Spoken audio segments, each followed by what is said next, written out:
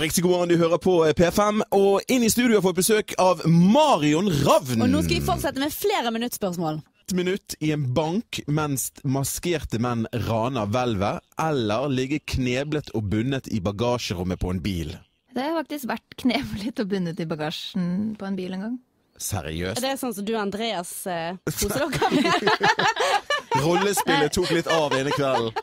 Nei, det var jeg og en venninne som eh, Ja, det her var jo USA, da, så politiet kan ikke komme og hente oss. Eh, vi var litt for mange i en bil, så vi skulle ligge bak i bagasjen på bilen. Okay. Vi skulle fra et sted til et annet. Og så fant vi ut at hvis vi ble stoppa av politiet, så kom vi jo liksom til å bli fengsla for bot eller noe. Så vi knebla hverandre sånn at det så ut som vi var kidnappa i tilfelle vi ble stoppa. Er du vittig? Seriøst? Og vi syntes det var veldig gøy. Så vi tenkte jo ikke på den stakkars kompisen som kjørte.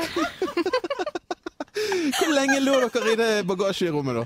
Nei, det var jo bare fra et sted til en annet. Da. Det Ja. var veldig, veldig gøy. Fantastisk! Jeg tenker at Dette her må jo inspirere deg til å skrive en låt, og for en musikkvideo dette kan bli.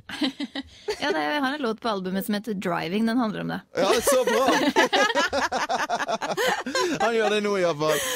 Og sist, men ikke minst, eh, Marion. Eh, eh, ett minutt i en seng på Paradise Hotel, eller ett minutt som klovn på sirkus? Ah, da er det klovn på sirkus. High five! Ingen som ligger i sengene på Paradise. Å, fy søren, ass. Da, tror jeg ja, da hadde jeg heller valgt liksom hengende over stup og liksom ett minutt under vann. Såpass, ja. Det er større sjanse for å overleve enn i den senga der. Ok, ok, ok.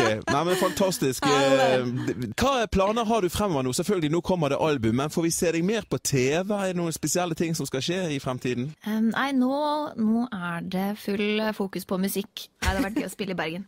Og hvis du har problemer med transporten, så kan jeg hente deg. Jeg har en sånn stor bil eh, så du kan ligge Ja, baki. Ja, du har jo nøkler til leiligheten min allerede.